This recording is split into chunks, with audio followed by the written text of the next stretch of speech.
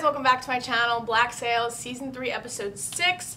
I have been really banging out these episodes. I don't know how fast I'm going to be able to edit them and release them, but I have been watching a Black Sails episode almost every day. I think a large part of that is like this season in particular, I've just enjoyed more than other seasons.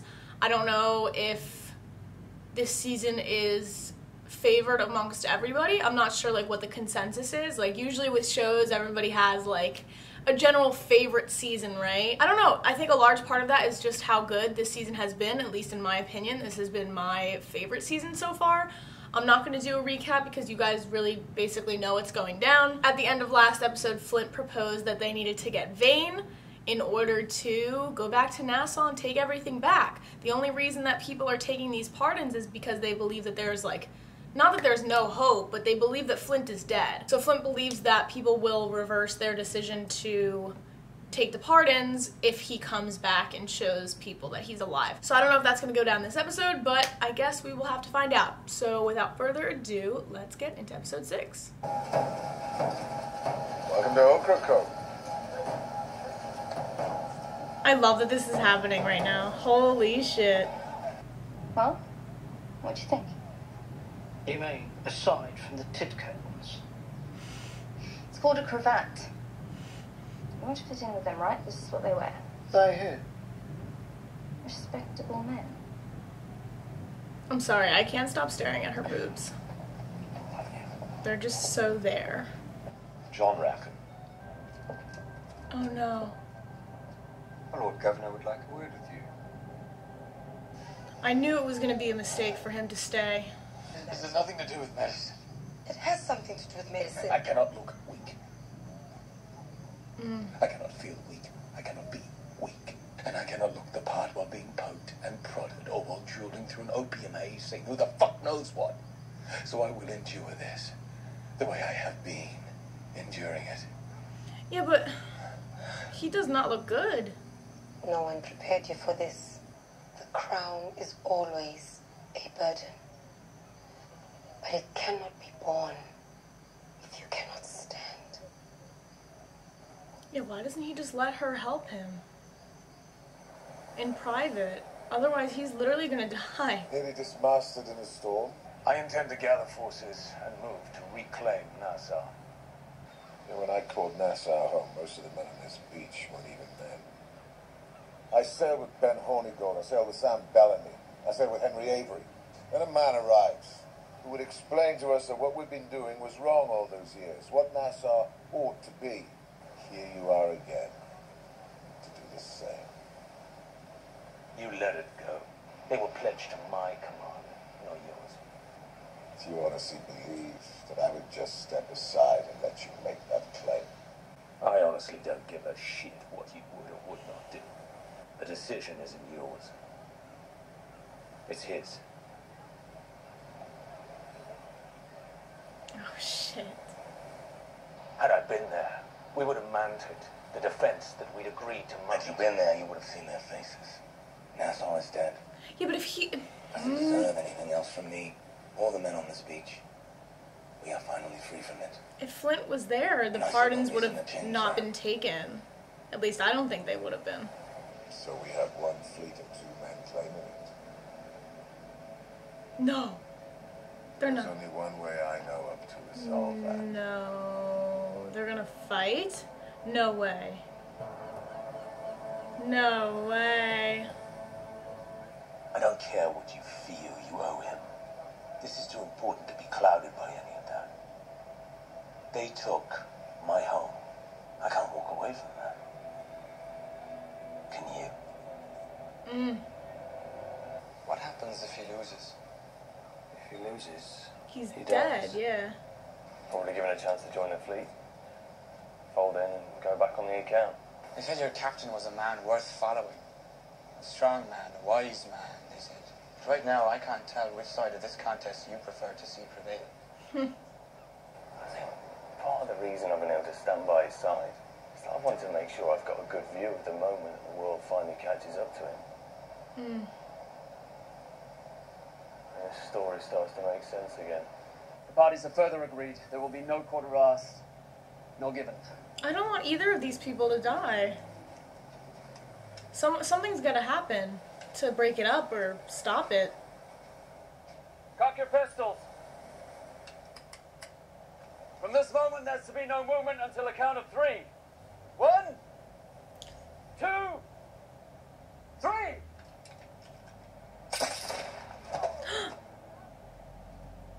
No way.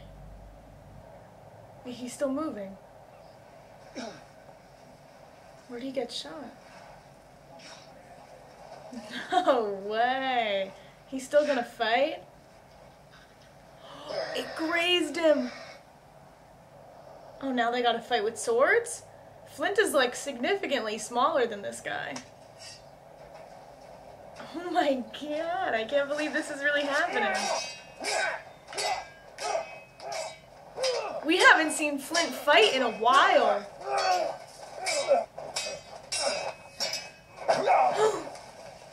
no, no! See, Flint is smaller, but he's quicker. That's his advantage.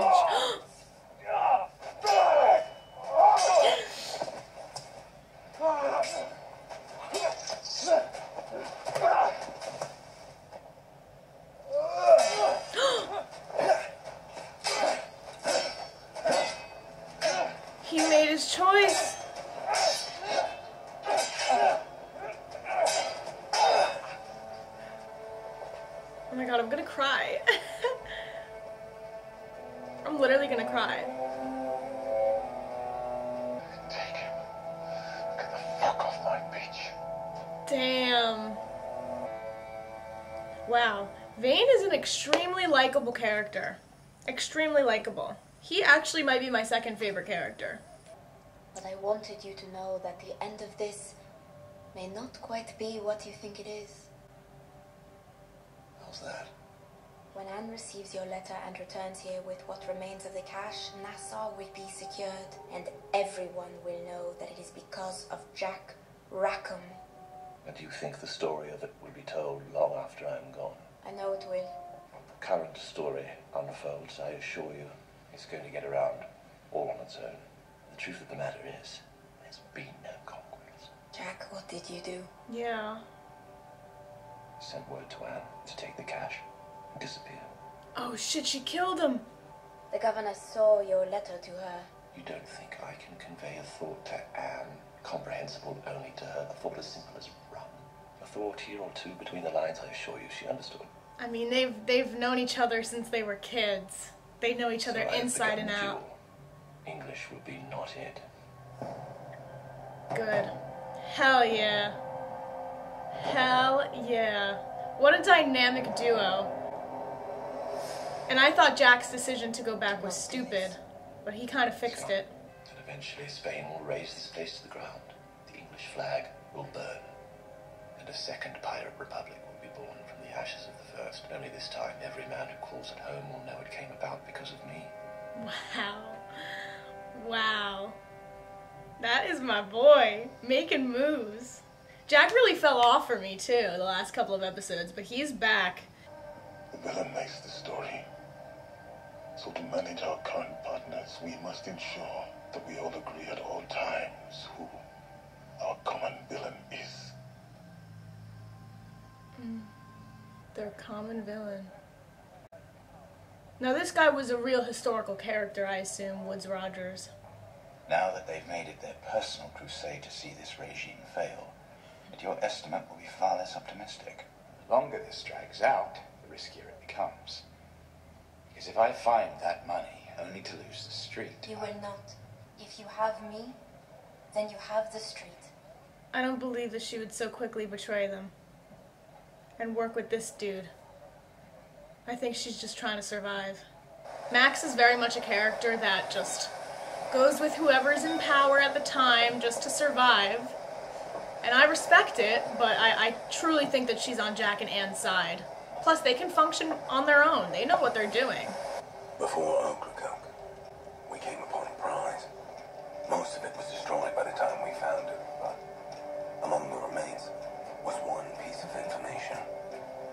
Information about what? Money separated from the Urca gold within the fort and rendered into a new form. A cache of gems. Oh, yeah. for which Spain is holding the new governor accountable, could be the key to defeating British forces in Nassau. Miss Anne Bonny. Can we find it before he does? No. No. Is that the end? Um, first of all, we need to talk about the MVPs this episode. At least in my opinion, I thought that Jack and Anne were the MVPs. I like this kind of turn of Jack being able to convey a thought to Anne through his writing. Like even though he he sent this letter to Anne and it was approved by Woodes Rogers, right? That's his name. He still was able to convey to her. They are so connected in that way. He was still able to convey to her the the plan that they were trying to do, which was to take out the guy that was supposed to be sent to capture her and run off, go hide the gold, hide it somewhere. As somebody who has liked Jack from the beginning and has been rooting for him, he has kind of really proven his worth this season, especially this episode. This episode was like the turning point for his character, and I think that he is going to be crucial in the events that transpire throughout the rest of the season. I mean, I assume that he's going to be crucial because he's essentially going to be the determining factor of like who what happens, like the events that are going to happen in Nassau. He really is going to be kind of the deciding factor. I guess he's willing to go through anything for it. I mean, he said that he's willing to be tortured, he's willing to go through anything as long as that gold doesn't find its way back to Nassau. He still has this, you know, upper hand on them. He still is one step ahead as long as that gold doesn't reach Nassau and Anne hides herself away. Now, I don't know where Anne is going to go, where she's going to hide the gold, how long she's going to hide it for, but as long as it stays away from Nassau, Jack has the upper hand, and Jack is going to be the reason that, you know, the British rule that is occurring right now doesn't succeed in Nassau, um, which is something that Jack really wants. This move, this power move, is going to kind of plant Jack as one of the people, one of the legacies of, of Nassau, one of the people that really helped, I guess, get it back. I'm glad, really glad that he's on the same side as Flint and all of them because his most important thing and his his kind of character's motivation is having this reputation and this legacy. He really wants to have a legacy and be written down in the history books and I think that this move is going to solidify him in the history books and I'm really happy about that. Jack was definitely the MVP of the episode. I have to give props to Vane too. Um, the whole fight that happened with Blackbeard and Flint, that was a really good fight. I thought that Flint's face, as soon as he fired that shot and it kind of missed, it grazed Blackbeard's face. I was like, oh shit. Because Flint was like, oh shit. His face was actually incredible. And then they started to fight, and I guess I shouldn't have underestimated Flint, but he was significantly smaller than Blackbeard. I mean, when you're small, you could be quicker, whatever, but if Vane hadn't intervened, I don't know who would have won that fight. It seemed like Flint was going down. I think that Flint would have, I mean, he was literally about to get stabbed. So Flint would have been a goner had it not been for Vane. Blackbeard looked really betrayed by Vane for that move. I'm not sure what Blackbeard's true motivations are. I don't know a lot about his character, like historically. So I'm not sure what's really going on in his head. I don't really know what side he's truly on. I don't know what his motivation is for just suddenly appearing back in Nassau. Maybe he's working undercover for Spain. I really don't know what his motivation is, but I wouldn't be surprised if a twist like that were to surface in the future, especially after being betrayed by Vane in this fashion again. I mean, you know, fool me once, shame on you, fool me twice, yikes. So I imagine Blackbeard is very familiar with that feeling of being betrayed by Vane, but I'm proud of Vane for making that decision because I like Flint, and Blackbeard hasn't really been around for as long as Flint has been, so I haven't really been able to get close to his character. Yeah, he's badass, yeah, he's cool, I really enjoy his character, but he hasn't really done anything to wow me or surprise me or prove his character is worthy of being like liked or respected. I think that he needs to, I just think that he needs a little bit more substance, and a lot of that probably lies in the history between him and Vane. We know what happened, we got a little synopsis of it by Eleanor, like in 30 seconds, but we haven't really gotten like flashbacks of what really happened. I don't know if we ever are. Seems like this show really likes to talk about stuff that has happened in the past or has transpired, and give us like quick recaps so that it moves us along. It doesn't really baby us and it allows us to get this information really quickly and allow us to like move forward and just focus on future events rather than history. So all we know, or all I know right now, is that Vane once betrayed Blackbeard for Eleanor, and it seems like it's happening again now with Flint. And not not seems like it did happen. I also really enjoyed the conversation that Blackbeard had with Flint before the fight even happened. It was almost like he was saying, I respect you, game respect game, but I can't allow you to do what you want to do here. I just can't. I was hoping that it would go down a little bit differently, but as long as Vane is on board and Vane is with Flint, I have no complaints really. As for predictions for next episode, I really don't know what's going to go down. Oh, Max, I want to talk about Max because I don't know if she's lying when she says that she's going to be on the streets getting information for people for Woodes Rogers, but I feel like she is lying because she's been loyal to, to Jack and Anne this entire time. But also, I feel like Max is only loyal to people who are in power and who she knows will get her another day of, of survival, I guess. She's just trying to survive out here. So she's really just kissing the ass of whoever's in power, I think, personally. But I could be wrong. She could genuinely be on Woodes Rogers' side right now, but I don't. I feel like that goes against everything that Max really stands for, and she's just doing it to survive. So if I had to make any predictions for the next episode, I think Flint's whole storyline needs to start moving along. We have four episodes left of the season. We're really getting down to the home stretch now, and I don't really know what to predict. I just know shit is gonna go down. It is building up to be pretty intense. With the whole gold thing now with Jack, that just adds a whole nother element that I was not expecting to happen. So I kind of can't wait for the next episode. So yeah, I guess those are all of my thoughts. As always, thank you guys for watching. Check out my other reactions if you have not already, and I will see you guys for episode 7. Alright, bye guys.